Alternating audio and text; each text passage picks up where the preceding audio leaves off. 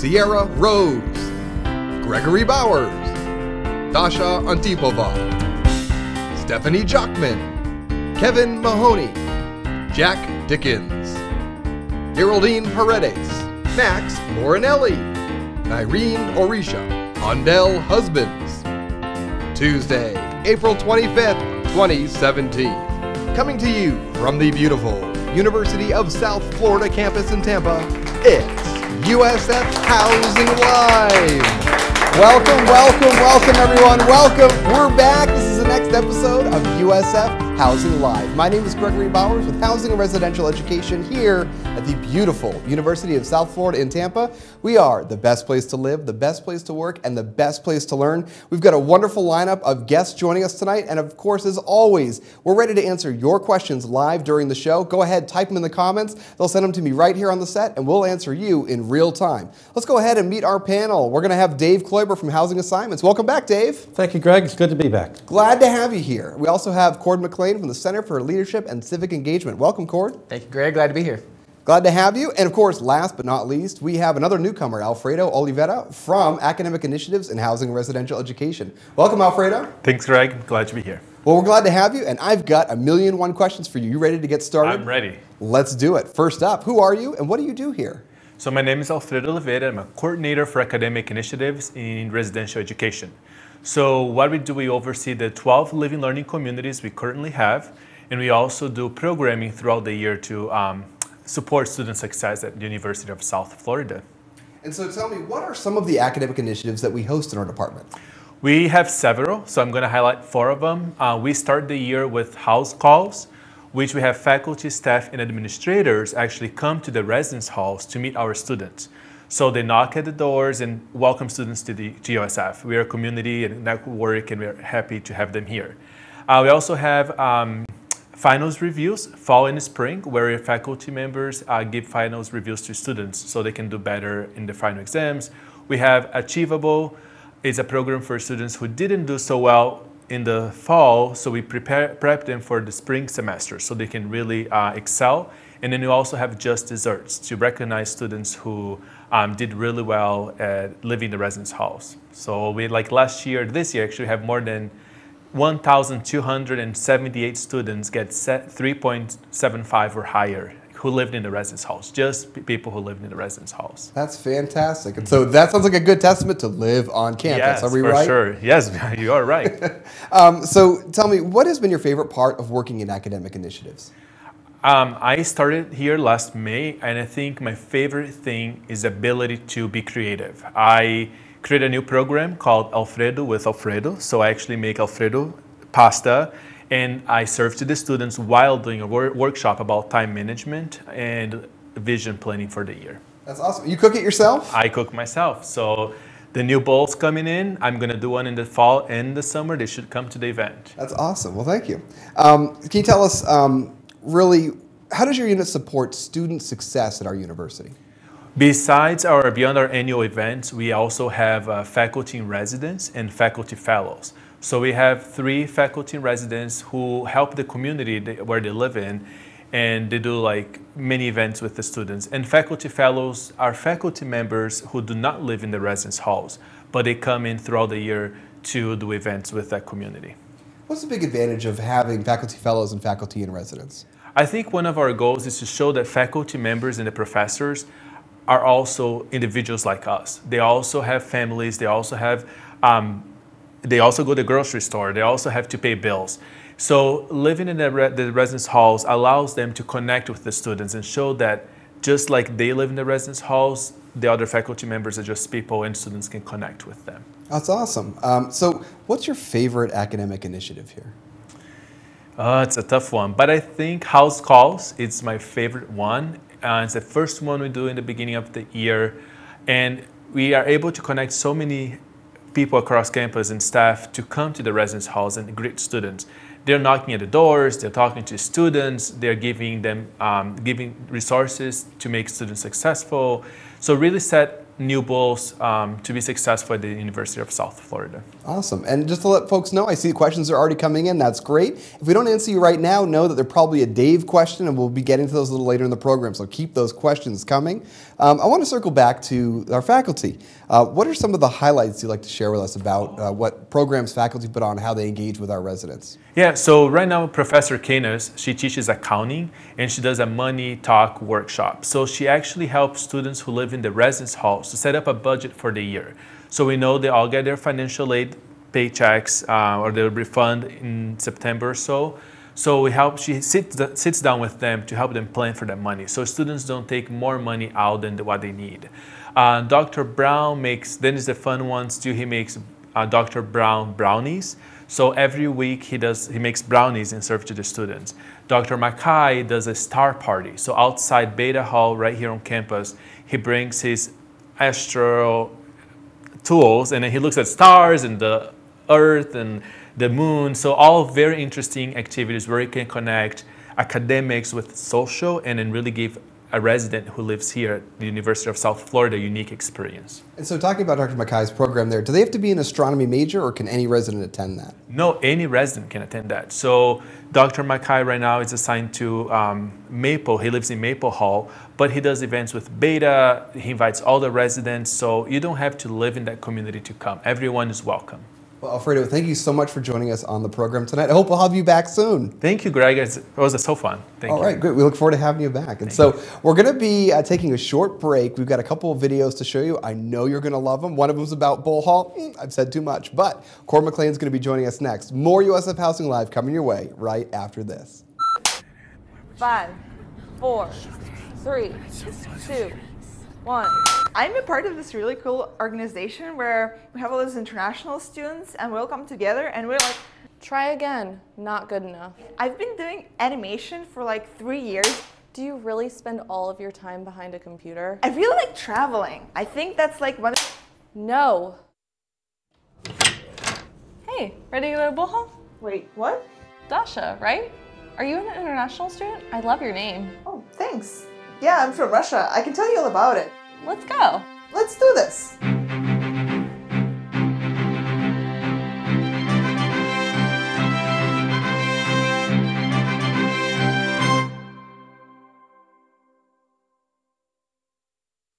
We have about 475 student athletes on 19 varsity teams. The Student Bulls Club is the philanthropic arm of our uh, Bulls Club and what they really work to do is to try to create uh, opportunities to raise money for scholarships for our student athletes. Because you get to, to go to football games, you get to go to baseball games, and you, know, you always get better seating than everybody else. So, and every coach here wants the Student Bulls Club to come out and support them. So as we build our fan base, and if we're going to really make this a home field advantage, that the Student Bulls Club is a big part of it. I love working with student athletes who have huge dreams. Dreams so big it makes other people uncomfortable.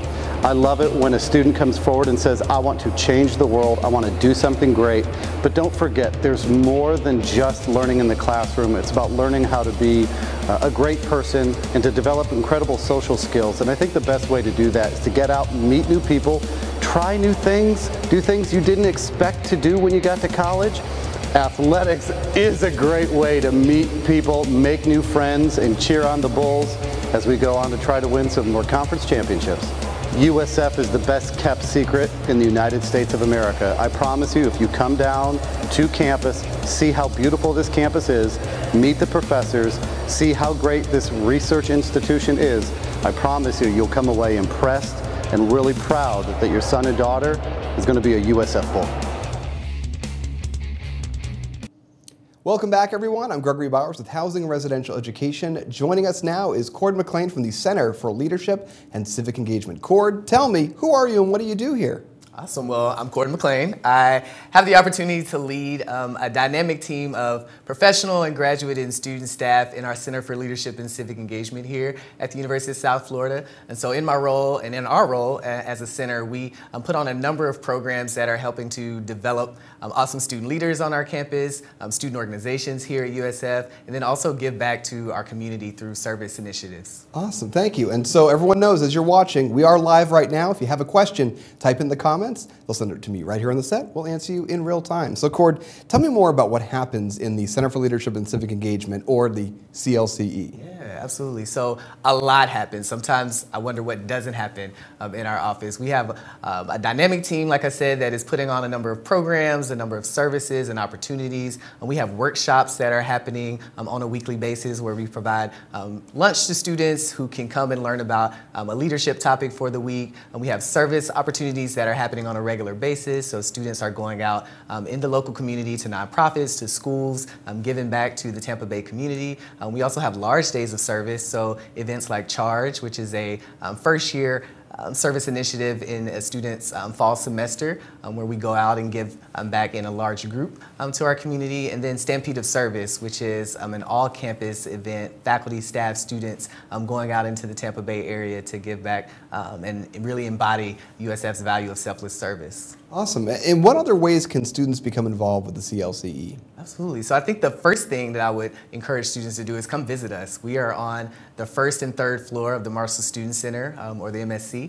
And so students can come and check us out, see what opportunities are available to them through all the flyers and posts that are on our walls and our windows, um, meet some of the students and staff who are putting on these initiatives. Um, I would also encourage students to check out BullSync, which is our one-stop shop for um, engagement and involvement on campus. So they can log on to usf.edu slash BullSync once they are here to uh, learn about all the service opportunities that are available, to find a student organization that interests them, um, or just to check out the events calendar here um, at USF. Awesome. Uh, so, a strong culture of volunteerism here on campus. What about leadership opportunities? Sure. So we have a number of opportunities for students to develop as leaders here on campus from um, our Lunchtime Leadership Series workshop, um, our Leadership Challenge Conference, um, we have uh, a co-curricular certificate called the Certified Student Leader Program. Um, students can join this program and in three semesters of workshops, of seminars, of classes, and service um, can, can get a certi certificate excuse me, in, in leadership and be certified student leaders um, by the end of that program. Um, we have student organizations, like I said, that we oversee, and so students can join committees, um, can join uh, different organizations and put on programs here on campus and really develop a lot of um, good leadership skills through those initiatives as well. Awesome. Now, we have a lot of first time in college students watching and their families. And so, one thing they might want to know is more about your living learning community, the Leadership LLC. Can you tell us about that? Yeah, so after a student's first year here at USF, they have the opportunity to move into our second year living learning community, which is really focused on developing strong student leaders here on campus. And so within this community, it's a very immersive experience. Students get to um, network and live with students who are aspiring to be leaders and change agents on our campus and in our community. Um, again, students can also work toward the Certified Student Leader Program certificate um, through their living learning community and participate in a number of workshops and programs um, and events that that are put on by their peers. So let's say a student, they want to join the Leadership LLC in their sophomore year. Uh, what is the emergency, uh, excuse me, the Emerging Leaders Institute? How does that play a role to get them ready? Yeah, so the Emerging Leaders Institute is a program for first year students here on campus. Um, students should be looking out for those applications um, in the summer and fall. Um, we select about 60 students to come out with us to Rotary Camp Florida in February for a weekend retreat um, helping students think about their leadership styles, think about how they can contribute to leadership and change they want to see on our campus, um, and then develop their leadership philosophy and definitions, all while building um, great networks, great friendships, um, and thinking about their um, trajectory here at USF. And so that is again, about 60 students who are coming out to their retreat that is planned, that is coordinated, um, and run by student leaders. So sophomores, juniors, and seniors are investing their entire year in planning this Emerging Leaders Institute um, for their peers. That's awesome. I like how you put that, thinking about their trajectory once they're here. Um, so before we get here, though, we have to transition. So what advice do you have for our incoming first-time in college students? What's going to help them transition successfully from high school to the college experience? Yeah, I would challenge students to think about um, start thinking about now what you want to get involved with, right? Um, research shows that students who are uh, plugged into campus, who find community, who find something that interests them, um, are more likely to um, find community, find home, and to be successful um, academically and professionally on campus. And so start thinking about what interests you have coming into the university and seek out ways to find those things here at USF. Um, but also think about things that um, are different. Be, don't be afraid to step outside of your comfort zone. maybe try something that you've been thinking about or wanted to try. College is the opportunity to um, to do that. Absolutely.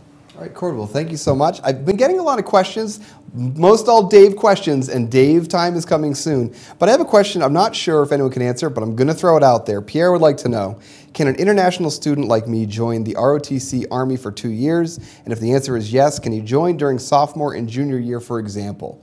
Does anyone happen to know the answer to that question? That's a tough one. $1,000 to whoever can get it right. Monopoly money. It's monopoly money. All the students seem to know the answer now. It requires citizenship. Okay, and so that would be my guess. And but, so, or at least a green card. Okay. So. Great. So what I would recommend then is um, students out there considering ROTC, international or domestic, Google is your friend because we're a big institution. So go ahead and Google USF ROTC. That'll take you right to the correct pages with all the information you need. Cord, thank you so much for joining us on the program tonight. Thank you. Can we have you back again Absolutely. soon? Look forward to it. Awesome. All right. And so uh, we're going to take another break. It's a year with Celeste, another installment of our freshman documentary series. And the next, the incredible Dave Kloiber. More USF Housing Live coming your way right after this.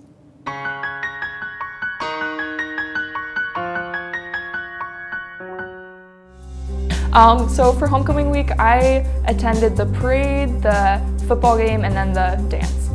The homecoming ball was really fun to go out with um, a group of girls from my hall and to dress up and um, listen to music and stuff. It was really fun to take a break. And um, yeah, we all got ready together and we all walked over there together and got dinner after. So the parade was my favorite event at for homecoming week just because um, like I wasn't really sure what to expect and it was really like loud. I loved like the band coming in and playing and like all the creative like crazy floats all the people throwing beads. It was really fun. I didn't know it would like be so exciting and like such like a big community. I kind of thought that it would just kind of like be a few events, but it was like a lot to go to and get involved with, so it was really fun. Going to all the homecoming festivities really helps like helps everyone feel like they're a part of a, like a larger community. It like gets you out there with like upperclassmen and more students, and um, it's just cool to like cheer on the Bulls all together. it really makes you feel like you're really in college.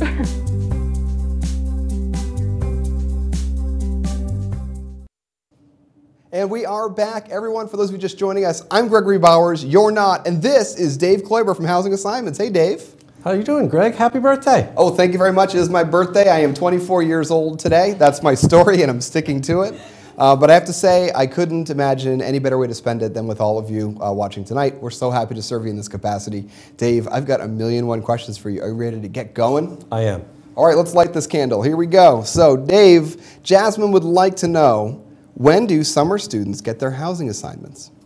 Well, we've already started doing assignments for Summer A, Summer C, and Summer AB, and we'll start doing the Summer B assignments right after we open for Summer A, AB, and C. That was very confusing. Okay, so for our incoming first time in college students, those starting in summer, they all start summer B. Of course, some are SSS Correct. and some are ACE. So do we have a date on that? Um, I don't have an exact date, but I would say probably um, on or around the 22nd of May, we'll start doing those assignments, if not a little, maybe a week earlier. Okay. And like you shared, we have the other assignments to get to first Correct. because those students start sooner, and so we've got to address them first, right? Three, two weeks, I think, three weeks they start. Okay, so yeah, so. we'll be handling them, and then summer B. Yes. Uh, okay, Celeste would like to know how can my student find out if the LLC he wants to apply to is already full? Uh, they're asking about the pre-nursing LLC, so they want to apply, but they wonder is it full or not. Uh, do you know that? Does Alfredo know that? Let's I'll let Alfredo, Alfredo take us. that. Yeah, that's a great question for him. We, my understanding is they're not full yet, so the student can go ahead and apply. The application is in the housing portal, and we are still accepting applications for the pre-nursing LLC. Okay, so. so if they want to be in the pre-nursing LLC, the answer is apply. Apply right now. Right, right. Well, not right now. In 11 minutes, apply. but you better keep watching USF Housing Live. Thank you, But there's Alfredo. spots available, yes. Awesome. Um, I got another question here. Nicholas would like to know, oh, oh, when will we find out about summer housing roommates? And so that's pretty much the same same Yeah. thing, right? Yeah, when we do the assignment, the roommate will be, information will be available on the housing portal as well. Dave, how about you tell them how do they find out who their roommates are? How do they get that information once they've been assigned or selected a space? Sure. Um, anybody can go into the housing portal, look at their future assignment, and their future assignment will include uh, where they're living and what their mailbox information is if they want to receive mail over the summer or over the fall. And uh, below that, they'll also see who's assigned with them in their room or their suite or their apartment. And what do they do though if it has a name but no contact information? I've heard about that. Is is life over? What do we do? Life isn't over. Um, unfortunately, uh, uh, not everybody wants to have their information shared with their roommate right away, but you've got their name.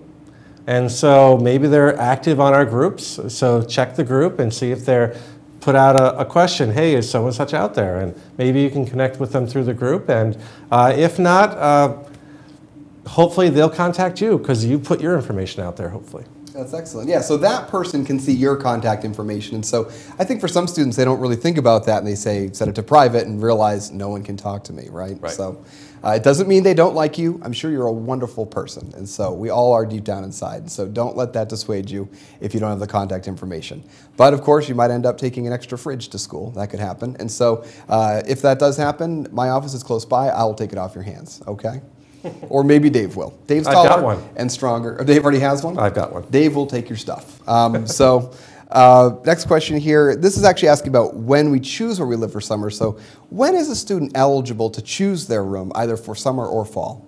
Boy, for, for summer, where uh, we've done something new for fall, so I'll start with fall. Okay. If your application is complete and you've done all the steps required, which is pay the application fee, you have your immunizations all submitted and approved, you have your orientation registration complete, then actually you are eligible to go in and actually select your room. So you can log in now if all that's complete and go select your room. And if you have roommate information like their roommate, their UID and their PIN number, and they're all set, you can actually go in and select for them as well, or vice versa, they can select for you.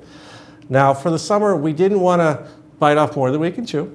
Uh, this is a new process with allowing our new students to select their room initially online, and so we only did it for fall, but fall has already started. So if you're already assigned for fall and it's one of our open summer buildings, we're going to do our best to put you into the same room for summer that you're in for fall. Great, thank you. And so, let's say a student starting in Summer B.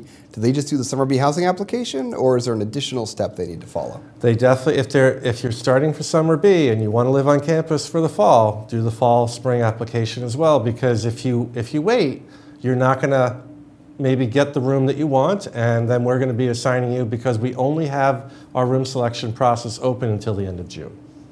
Okay, great. Another question just came in. Shreya would like to know I'm having a tough time deciding whether or not to apply for the Honors LLC. My current roommate isn't in the program, so I'm wondering if it's worth leaving her to join the LLC. Could you give me some information, benefits about the Honors LLC? Uh, Alfredo, can you help us with that? Yes, definitely. My suggestion to the student would be apply to the Honors LLC. They are coming to the University of South Florida, so they'll be able to connect, have lunch together, go to events together. The Honors LLC provides a unique experience, so I think the student, uh, my suggestion is apply for the Honors LLC is a great opportunity, even though your friend won't be there. Besides actually um, the student living the honors LLC making friends there, then she can meet her friends friends from the other community. So it even creates a better network across the university. So my suggestion is go ahead, apply to live in the honors LLC. Great advice. Thank you. Get in there and apply in seven minutes. Okay, excellent. Um, got another question here. Gloria Mar would like to know Is there any way that we can visit and see our room before we move in? Wow.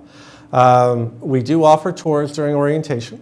Uh, we will not, however, show you your exact room. And if you're going to be living in Beacon or Summit, which are new, our two new facilities opening up this fall, they actually won't open up until August 17th. And so there's no way we can show even what that style will look like, except uh, as a picture or a rendering on uh, our website or in one of our brochures. But uh, you can certainly get a feel for the room type by um, just taking one of those tours during orientation. Great, thank you. Uh, and Isabella is asking, when will we know our roommate by? And so, for summer, when are they going to know their roommate? As soon as you're assigned and your roommate's assigned, it'll be right there under future assignments. There you go. And so for fall, when will they know? For fall, if, if you've assigned yourself already, you can go under future assignments and take a look right now, and more than likely you've got a roommate already. Awesome. Well, Dave, thank you so much for joining us. I look forward to having you back soon. It's been great being here, and congratulations also on your 20th episode. Oh, well, thank you very much. That's right. This has been 20 episodes, and we've got a whole lot more show coming your way. A few videos for you, and another installment of A Year with Ondell coming your way. More USF Housing Live after this. Beta Hall and Castor Hall are our two traditional style residence halls, each designed with two wings per floor. Castor houses approximately 360 residents, and Beta houses about 280. Both halls are co ed and exclusive to first year students. Beta and Castor are located in the Argos area and are very close to the Fresh Food Company Dining Hall and the Marshall Student Center.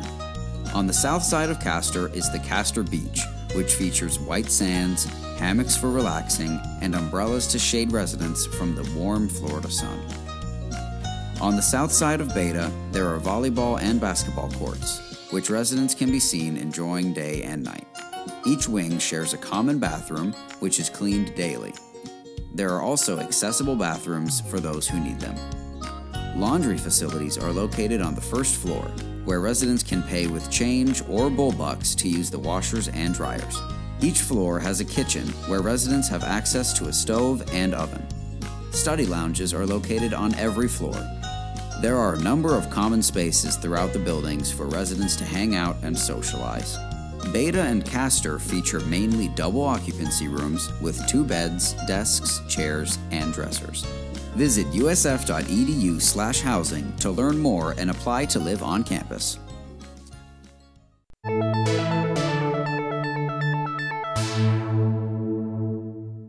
I decided to join an intramural sport because it's an easy way to connect with your friends that I might not be able to see every day. I've played intramural sports every semester since I've been here. I took part in flag football, volleyball, soccer, basketball, and they were all tons of fun. Um, the team atmosphere, it's just intramural sports, so there's not too much pressure. It's just like all of us, just, we're just there to have fun and just have a good time with each other. So if someone messes up, we won't go too hard on them. It's just, we're just there for fun. Most times uh, the intramural games would be at night. So it's just good to like look forward to having a game where you could just go relieve all the stress that you built up during the week and just let it all out on the field. There were flyers around the school like stuck up like sign up for this, sign up for that. And me and I have a group of friends and we just decided, hey, why not? Like, we even played a sport that we never played before, which was flag football. Didn't go too well, but it was still tons of fun because it was all of us together.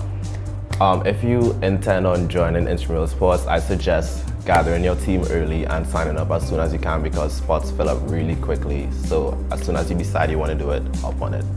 Even if you've never played it before, I suggest you still take part. It's a great experience.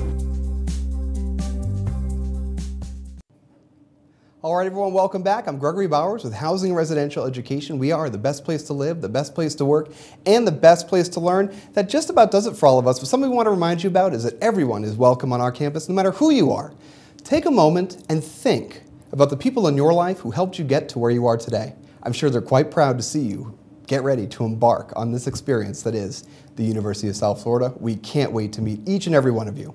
Our next episode is going to be on Monday, May 9th at 6 p.m. right here on Facebook and on our YouTube channel at youtube.com slash USF Housing. It's going to be great. We're going to have a lot of great experts to answer all of your questions live during the show. I want to take a moment and say thank you to all of our guests, Dave, Cord, and Alfredo. Thank you so much for joining us tonight. I hope to have you all back again soon. And also a special thank you to our student crew who is always amazing. Oh my goodness, the energy is so crazy. So, so, so happy to have you all here. Thank you so much. Again, Monday, May 9th, 6 p.m., join us. And of course, there is just one last thing.